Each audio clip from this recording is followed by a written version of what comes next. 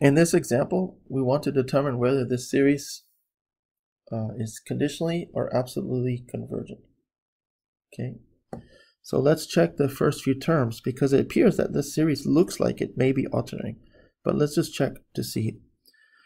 So when n is 1, okay, we're going to get minus 1 third. When n is 2, we get minus 1 ninth. When n is 3, okay, we're going to get 1 over, positive 1 over 27. Okay, and then for the fourth term, okay, we're going to get a positive value here. Okay, so it appears that this is not uh, alternating series. Okay, and we can see that here because we get negative, negative, then positive. So if it were alternating, then we have to get uh, alternating signs. Okay, so that's why it's a good idea to check the first few terms just to make sure that it's alternating or not. So we cannot apply the alternating series test here. Okay.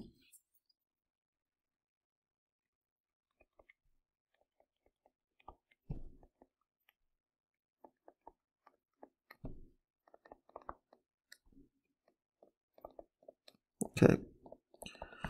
So what we can do, okay, um, in this case, what we can do, we can use another theorem. So we can take the absolute value of this.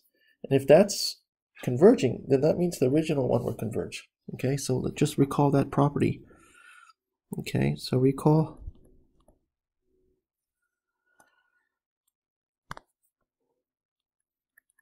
okay if oops sorry if the series okay if we take the absolute value of the term of the nth term of that series and if that's converging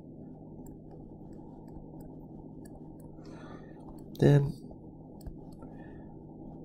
the original series converges.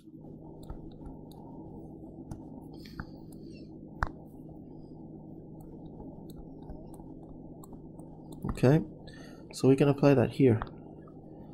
Okay so we're going to take the absolute value of the nth terms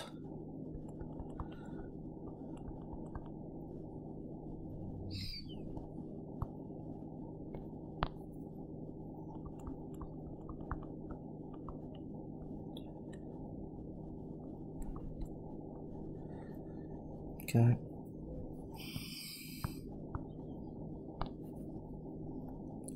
So this is going to give us, okay, when we take the absolute value of the nth term, the negatives become positive, right? So we end up getting 1 over 3 to the n. Okay, and this is the same thing as writing okay.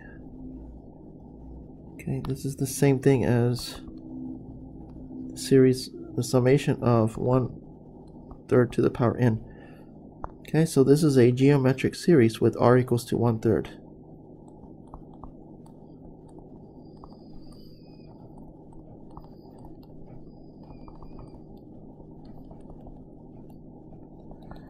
And so therefore, since r is less than 1, this is converging.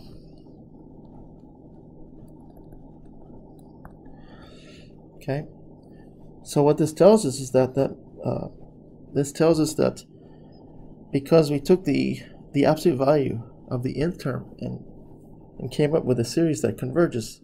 Therefore, the original series converges. Okay.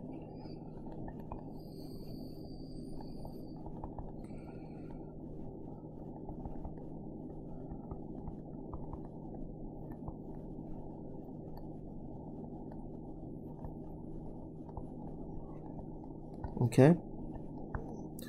So that tells us, okay, um, right? That means because we took the absolute value and it's converging. So this is means this implies that this original series uh, is absolutely converging. Okay. Okay, so it's absolutely converging as well.